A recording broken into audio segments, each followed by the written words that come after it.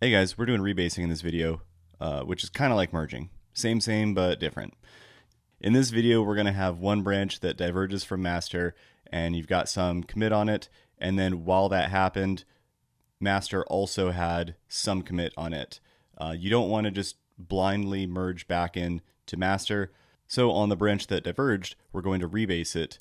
So we won't have any unnecessary commits, and we're not just blindly merging it back into master we're going to see that everything works as planned when the branch that diverged took on all of the changes that master did. So a couple videos ago, uh, you might remember how we tried to merge master into branch A before we merged branch A back into master so that we could verify that everything went well. Uh, if there had actually been any changes on master, that would have created an additional commit that we didn't technically need. Merge basically says take all the changes from this other branch and add them after all my changes on this branch that I'm on.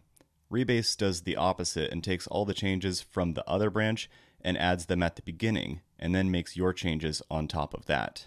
It's sort of like just pretend I created this branch just a second ago with all the completely up to date history of this other branch and then add all my changes on top of that. So let's get into it.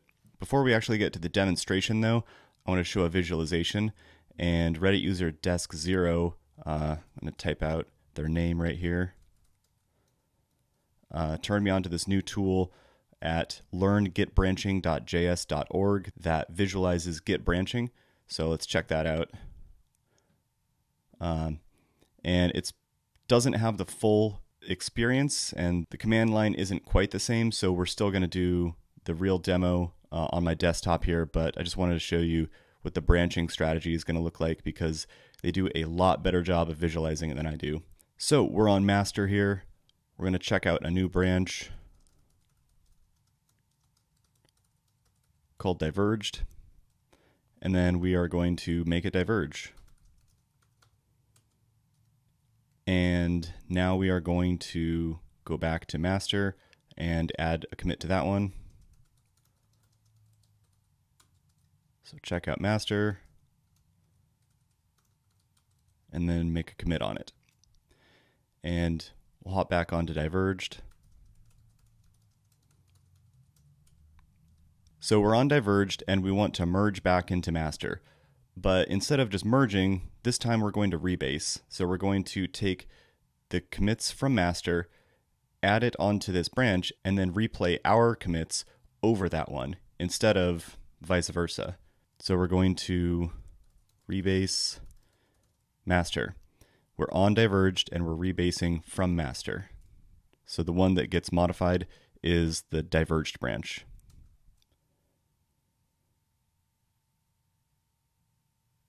So you can see that we're on this branch right here. Uh, it has masters commits first, and then it added the diverged commits after that. So now we will check out master and then merge back in.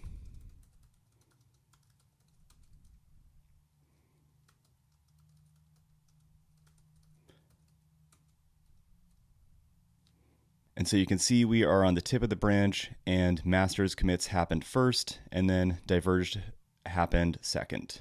And that is exactly what we're going to do on the desktop now with the real commands. So let's check our status. You can see we are on master. Um, let's go ahead and check out diverged, just like in the visualization. And we'll make some modifications.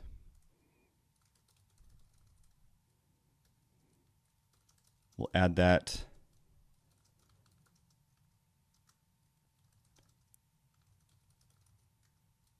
Commit it and then we'll check out master.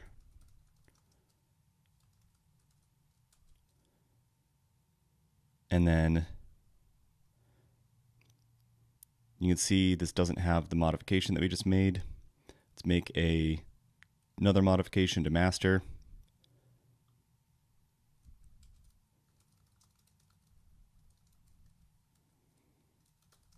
And then we'll add that in and commit it.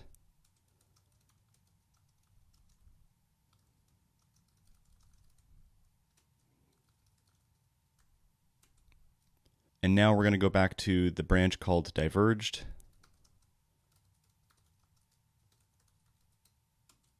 And we'll rebase the changes from master into diverged now. We're on diverged right now, therefore any modifications we make are going to happen to the diverged branch.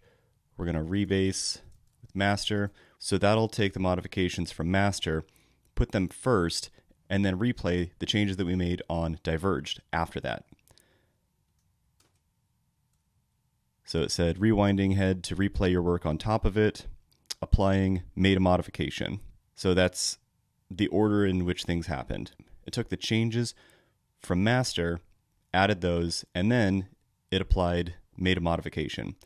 And if you remember the git messages or the commit messages, made a modification was the commit message of the diverged branch, and that happened second. And that's exactly what we were expecting. So now we'll check out master again and merge in from diverged.